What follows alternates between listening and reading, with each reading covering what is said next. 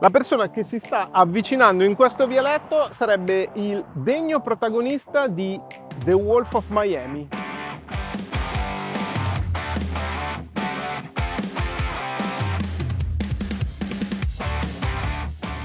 La storia che vi voglio raccontare oggi è incredibile, nata grazie a un viaggio con un amico speciale, poi la scoperta dell'America con tutte le sue luci e le sue ombre, alti, bassi, come è normale che sia nella vita, anche se il punto più basso qui è stato la deportazione e poi tanto altro, lavoro, famiglia, amore, eccetera. Alla fine di questo video mi direte se questa è una storia da sogno americano o qualcos'altro. Ciao, sono Chris, welcome, benvenuti in questo nuovo video. La storia di oggi è super e vi presento Alessandro. Ciao Ale. Ciao Chris, Grazie. buongiorno. Ciao. Un piacere, Pronto? grazie a te. Rompiamo il ghiaccio subito. Dove siamo? Qui siamo nel cuore di South Coral Gable, è una delle zone residenziali di Miami, famiglie, molto tranquillo, non passa una macchina, dove i bambini possono giocare per strada e mi sono trasferito qui da un annetto dopo aver passato la maggior parte della mia vita a Miami Beach. Hai messo su famiglia? Ho messo su famiglia. Ah, ok. Adesso iniziamo.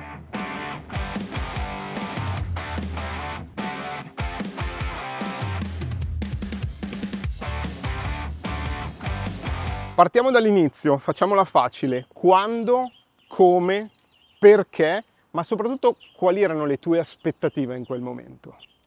Allora, quando eh, 2007, quando appunto Bellinelli è venuto a giocare in NBA.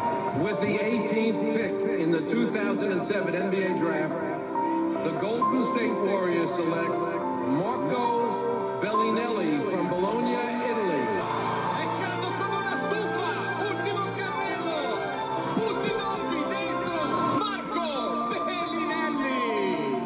avevo fatto una promessa quando eravamo più piccoli che se un giorno avesse intrapreso quella carriera lo, lo avrei seguito. Successo che l'hanno chiamato dicendo che era eleggibile per l'NBA e quindi mi ha detto adesso eh, mantieni la promessa. E siete andati negli Stati Uniti? Prima volta a Las Vegas per fare gli allenamenti, quindi a Chicago come prima città come scalo okay. e poi successivamente a settembre siamo tornati eh, insieme, siamo arrivati a San Francisco. Perfetto, quindi siamo nel 2007, tu lasci l'Italia, Bologna se non sbaglio, zona lì. Sì, a 26 anni. Con il tuo migliore amico per realizzare il suo sogno in America. Corretto. Perfetto. Com'eri?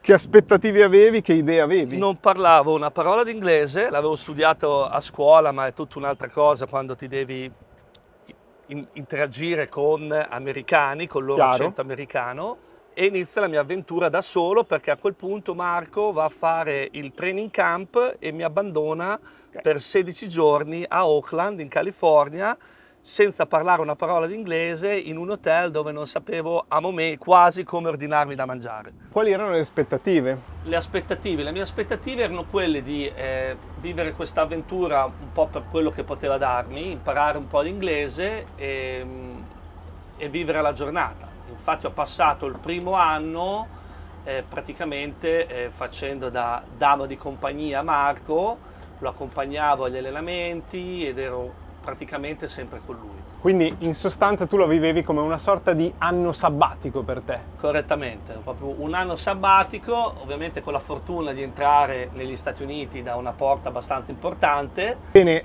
dopo un po' hai cominciato a vedere l'America, a scoprirla, no? le classiche luci, ombre, come funziona, come non funziona, immagino profondamente diversa da dove eri abituato tu. Quando è successa questa cosa e cosa hai visto? Uh, sinceramente eh, la squadra dei Golden State Warriors, che adesso fa base a San Francisco, faceva base a Oakland, che al tempo, nel 2007, era una delle città più pericolose degli Stati Uniti parlavano di tre omicidi a settimana e quindi avevo questo, questo terrore, come guardi nei film americani, sì. eh, si vedevano macchine della polizia, eh, ambulanze, io almeno avevo un po' di paura a, a girare da solo, anche perché non sapendo comunicare con nessuno. E che idea ti stavi facendo dell'America? Quindi sono che, brutta? Che era come quella nei film, tutta questa cosa un po' caotica. Eh, queste persone che quando ti parlano io sinceramente capivo molto poco, era proprio il suono che non riuscivo a percepire, quindi guardando cartoni animati e soprattutto film tipo Ritorno al futuro che avrò visto 200 volte in inglese con i sottotitoli, sapendo già in italiano quello che si dicevano gli attori, era molto semplice, era più semplice capire diciamo la lingua. Ok, quindi capisco che il bello di fare un'esperienza con il miglior amico, oltretutto in un ambiente sportivo molto particolare, soprattutto negli States, a un certo punto avrei avuto quello, quello, switch, no? Dici, ok, però io, sai cos'è, non faccio solo il mio anno sabbatico, rimango. Quando è successo, ma soprattutto perché è successo? Dopo il primo anno, dopo quindi la prima stagione NBA, torniamo in Italia, facciamo l'estate in Italia e avevo capito che non potevo continuare a non fare un tubo. È la terra delle opportunità, sì. perché ovviamente con una scuola italiana noi secondo me abbiamo una marcia in più a livello di intelligenza, come vediamo le cose, i business che facciamo. Una settimana a New York e una settimana a Miami. Okay. A New York un freddo bestia, un tipo di vita molto frenetica e ovviamente per un italiano con uno scarso uso del linguaggio, dopo un anno già parlavo molto meglio, ho fatto una scuola d'inglese e quindi mi sono, cioè me, la, me la cavavo. Eh, New York città molto frenetica, Miami come puoi vedere il paradiso, molto tranquillo, le, le, persone qui lavorano con un ritmo molto più lento, allora ho capito che se eh, avessi dovuto fare una scelta di lasciare Marco, nel senso di trasferirmi per conto mio, avrei provato a Miami. Okay. Qui, grazie ad un amico, ehm, un giornalista che eh, ho conosciuto eh, a San Francisco, della Gazzetta dello Sport, mi ha presentato un ragazzo italiano che, faceva, che lavorava nell'immobiliare che mi ha fatto questa offerta di dirmi guarda il mio assistente se ne va, se vuoi venire tu per sei mesi mi puoi dare una mano, ti do una Vespa, uno scooter e mi dai una mano. Okay. Ovviamente non potendo lavorare era una mano più per imparare un mestiere che altro e quindi eh, ho deciso di tornare eh, a San Francisco a fare armi e bagagli eh, e trasferirmi e fare questa prova a Miami. Ok, hai aperto un punto interessante. Ovviamente ci tengo a dirla questa cosa cioè, erano anni diversi, parliamo del 2007-2008, sì. cioè l'immigrazione, la dogana, i visti, erano tutte robe molto adesso, più facili. Esatto, non voglio dire facilissime, no. ma molto ri- diverse rispetto adesso. Sì. Banalmente era anche più semplice passare da un visto all'altro, farli fare il cambio di status. Esatto, okay. Sì, era più facile, poi penso che tutto sia cambiato dopo l'attentato eh, alla maratona di Boston. Okay, eh. Anche se noi ti dico la verità, come italiani mm abbiamo sempre una corsia preferenziale. Esempio, un visto B1, B2, mm.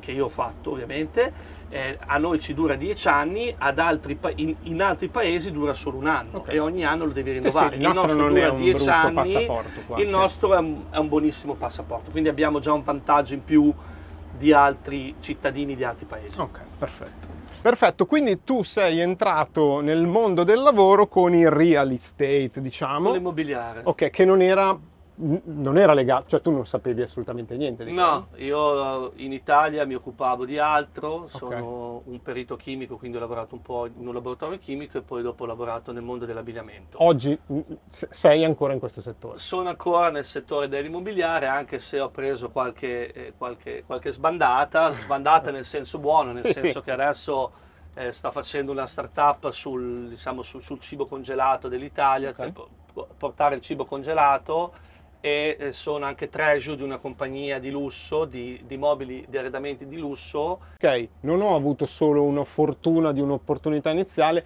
ne ho viste colte anche altre nel sì, corso degli no, anni. Sono okay. riuscito a trovarmi diciamo, nel posto giusto, al momento giusto okay. e a cogliere l'occasione. La prima occasione era quella, secondo me, di aver conosciuto una, un italiano mm-hmm. che mi ha preso in simpatia, mi ha dato una mano e, e mi, ha, mi ha aiutato e mi ha fatto partire praticamente dal basso, non esisteva Airbnb, quindi la mia prima mansione era anche quella tramite gli amici in comune in Italia di fare affitti, di fare affitti per i, i, vacanzieri e quello comportava controllare le pulizie, aprire le porte alle donne delle pulizie.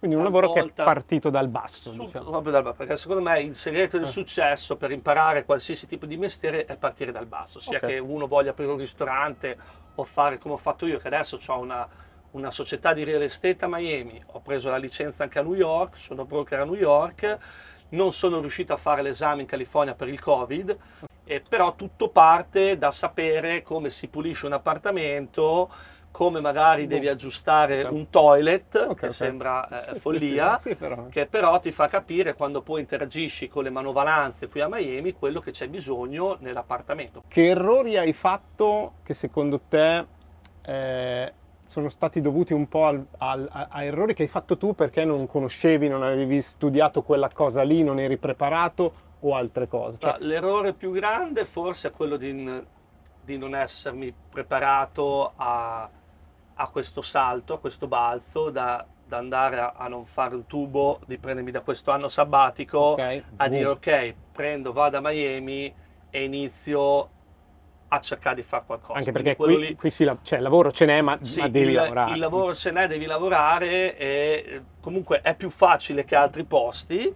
Mm. Siamo, Miami è, un, è, una città più facile, però comunque zero preparazione, quindi su chi va là senza averne un'idea, mm. eh, diciamo, di, di, quel mestiere. Eh, un, un, altro errore che però non, non considero un errore ma una lezione, magari è quella di nel corso degli anni interagire con personaggi che magari non dico che mi hanno fregato, però che mm. non erano molto trasparenti, eh, trasparenti e quindi bisogna però quello, stare tutto il mondo è paese, no? Sì, esatto, quindi è, un, è un errore non proprio di venire negli Stati Uniti, ma un errore A proposito comune. di questa cosa, questa è una mia esperienza personale, vorrei sentirla tua. Cioè, prima hai citato che il tuo percorso è iniziato anche grazie a un italiano.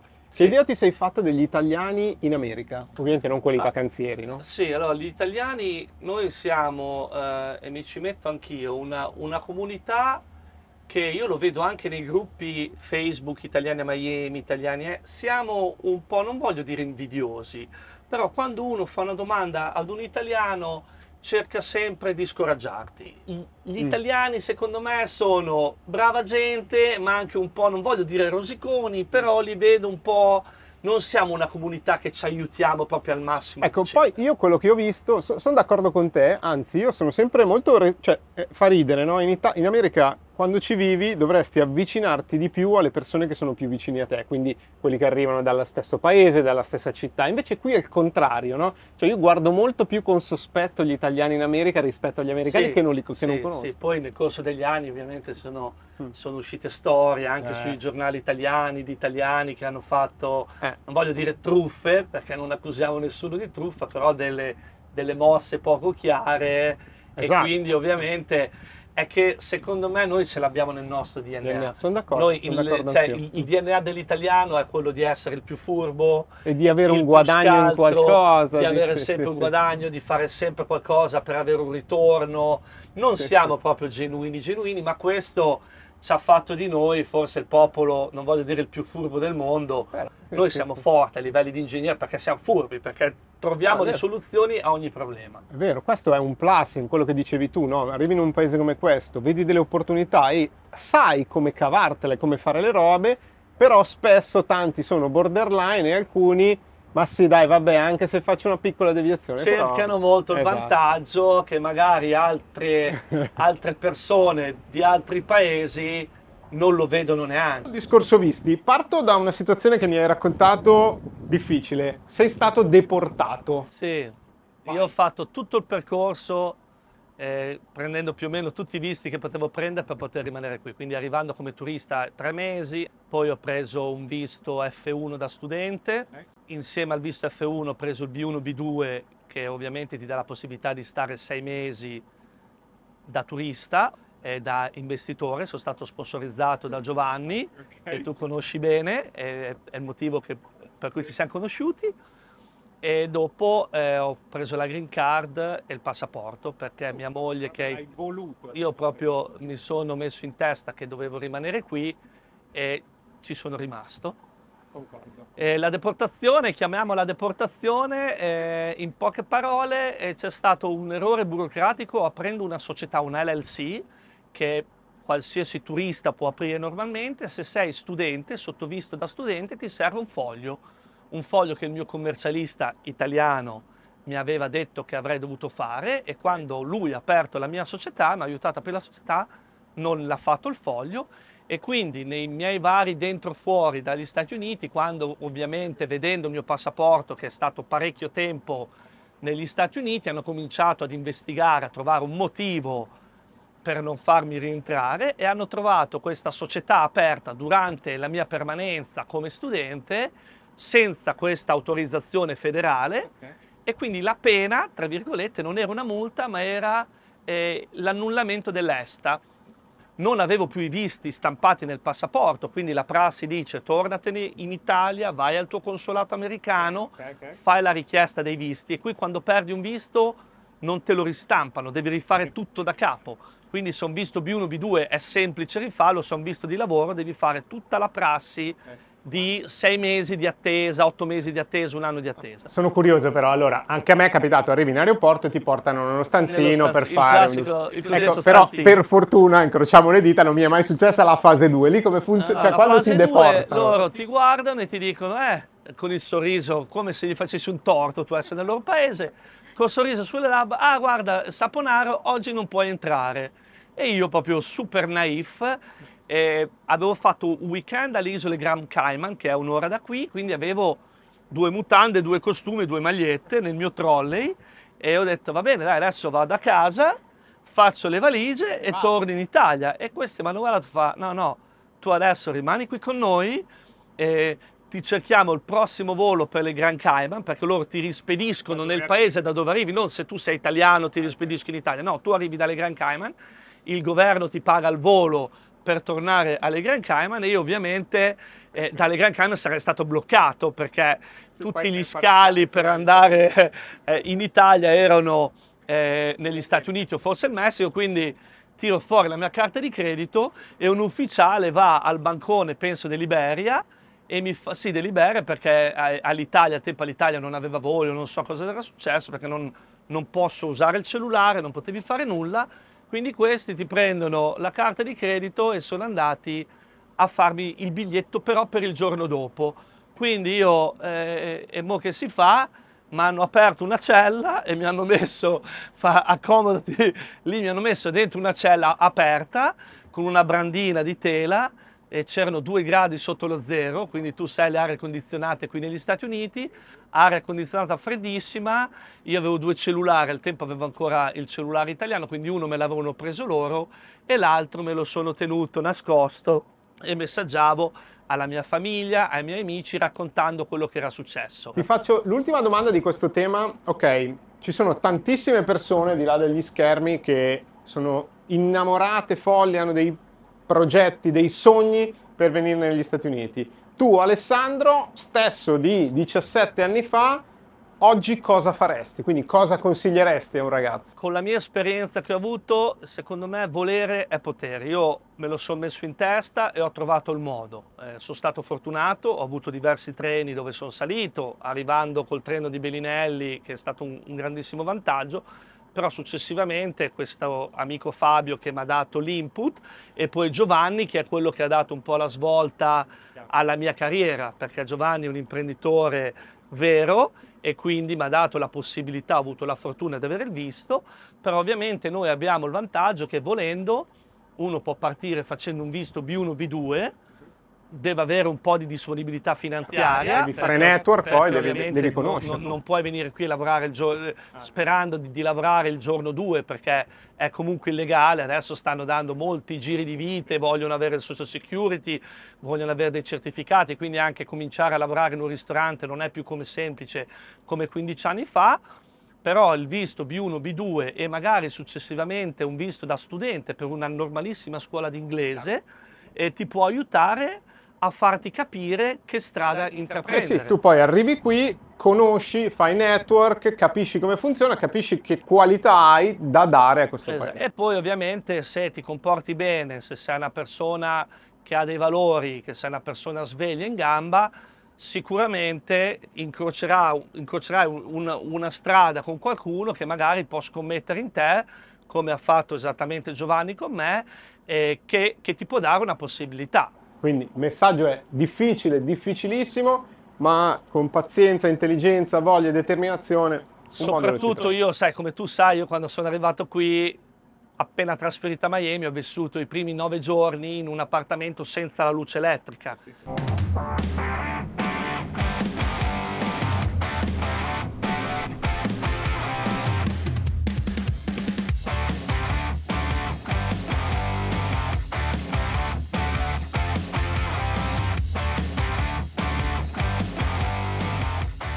Bene, quindi ora domanda un po' tua Alessandro, chi è oggi Alessandro? E soprattutto sei soddisfatto, orgoglioso, arrabbiato, qualsiasi cosa del tuo percorso oggi, ovviamente non parlo anche, no, parlo anche del discorso familiare perché giustamente hai costruito una bella famiglia, cioè chi sei e sei soddisfatto? Eh, sì, oggi Alessandro è un papà e quindi mm. è la cosa secondo me forse più importante che ho aspettato un po' più della media, eh, però in questo paese bisogna essere pronti mm. eh, mentalmente e finanziariamente. E sul, sull'ambito lavorativo mi sento soddisfatto, ovviamente uno può dire c'è sempre da migliorarsi, eh, però anche, c'è anche eh, da dire che bisogna anche un po' godersi la vita e non voler troppo, perché si vive una volta sola, quindi non è che uno deve ammazzarsi di lavoro, eh, come hai visto più o meno da quando mi hai conosciuto, che noi, noi ci siamo conosciuti quando? Eh, 7-8 anni 7, fa. anni fa ero un'altra persona, lavoravo ancora per Giovanni e adesso ovviamente ho fatto un'escalation importante della mia carriera e quindi sono, posso dirmi contento. Il sogno è quello di guadagnare negli Stati Uniti e venirmi a godere la vita in Italia perché secondo me... Il... Qualità intendi della vita, no? Mm. Allora, penso che Miami sia il posto con la qualità della vita più alta al mondo, mm. nel senso che le infrastrutture, adesso i ristoranti, io come ben sai anche quando ho, ho abbandonato l'avventura con Bellinelli, gli anni mm. successivi sono sempre andato nella squadra dove lui andava, quindi sì. ho visto anch'io come te parecchie città, non come te, un po' meno, dove andava a giocare Marco, quindi Chicago, New Orleans, Toronto, Sacramento, San Antonio. Mm.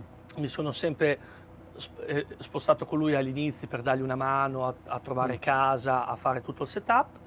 Eh, Miami è quello dove si vive meglio, però il posto più bello del mondo è l'Italia. Moglie che, che, è italiana, però è, è radicata qui negli Mia Stati Uniti. È... Lei, lei, la vede come te? Cioè, a lei piacerebbe? Lei forse un po' meno, okay. proprio perché adesso come madre mm. eh, il percorso delle scuole è comunque Cambia, importantissimo, sì. quindi non, non possiamo più prima avevamo solo due cani, adesso abbiamo due cani e un bambino, prendere i cani, andare sull'aereo e, sta, e, stare lontano. Lei fa il mio stesso lavoro, quindi ci possiamo anche autogestire, lei lavora più per i costruttori io lavoro più per il resale e, ehm, e, quindi la mia idea è quella di eh, un giorno poter tornare okay. in Italia senza la preoccupazione di tornare in Italia. Ecco, a proposito di questa cosa, cioè eh, slega Alessandro Stati Uniti, cosa saresti diventato, ovviamente virgolettato, fossi rimasto in Italia, avessi percorso la tua via iniziale, la se prima strada? Se fossi rimasto nel laboratorio chimico, io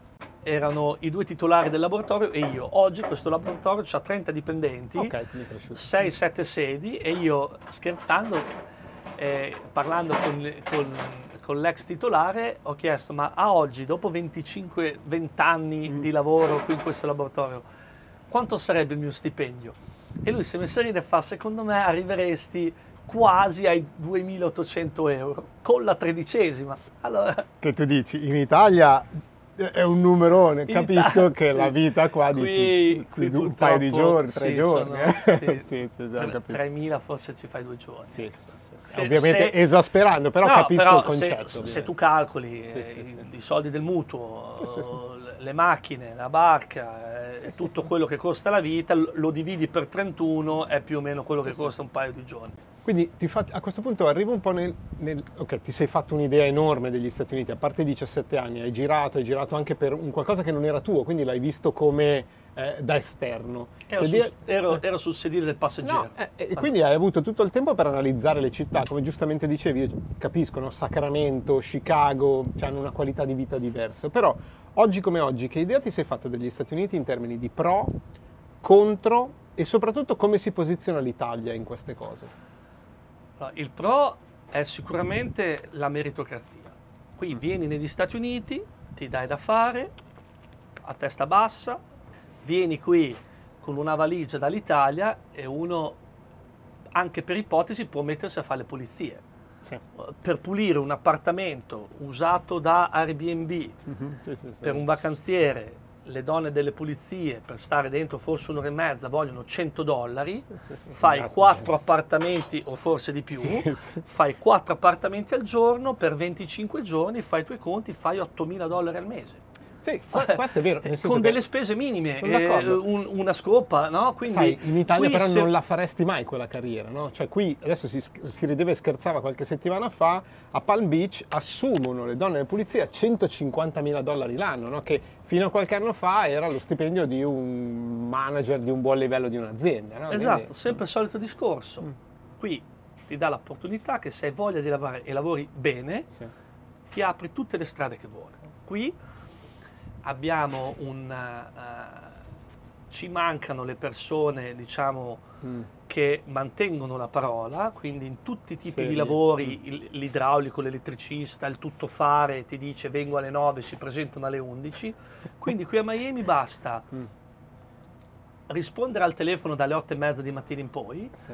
e riuscire a rispettare gli orari e cominciare un, un lavoro e terminarlo. Sei già più bravo degli altri, già così. Già, io a tutti scherzando, vuoi fare i soldi a Miami? Vieni a Miami, ti compri un cellulare, ti metti a fare qualcosa, sia eh, eh, il, il, movers, che sarebbe i traslochi, sì, sì. Eh, lavori semplici, esatto. dove comunque puoi guadagnare delle belle cifre, perché qui non esiste la donna di servizio a 4, 5, 8 euro all'ora, ah, come da noi, che chiami 55, una, una donna... 60, a fare le pulizie, sta tre ore e gli dai 30 euro sì, sì. Qui non si presentano per 30 euro, qui il minimo sono almeno 100 euro, Quindi 100 dollari. Stai scusa. sfatando un po' il mito no? che, che, che, gira soprattutto sul web, vieni e apri qualcosa a livello ristorazione, fai il cameriere, invece no, cioè riparti da quello che in Italia siamo sempre stati molto bravi, a fare magari dei lavori specializzati, idraulico, muratore, eccetera, ovviamente devi trovare il modo di arrivarci, perché non è facile Quella dire... è la, è la parte eh, veramente difficile, dato devi staccarti dalla realtà italiana, noi siamo famosi per essere mammoni, ci mm. sta che noi siamo quelli